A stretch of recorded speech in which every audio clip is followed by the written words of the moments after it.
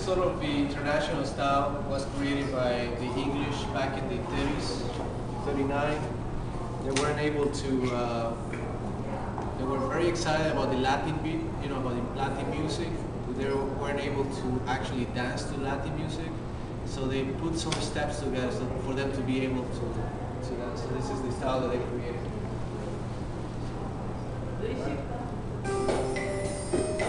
you.